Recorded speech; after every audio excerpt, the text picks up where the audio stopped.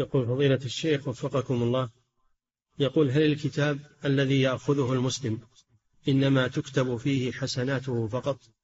لا تكتب حسناته وسيئاته لكن يعفو الله عن سيئاته يعفو الله عن سيئاته وقد يعذبه بها.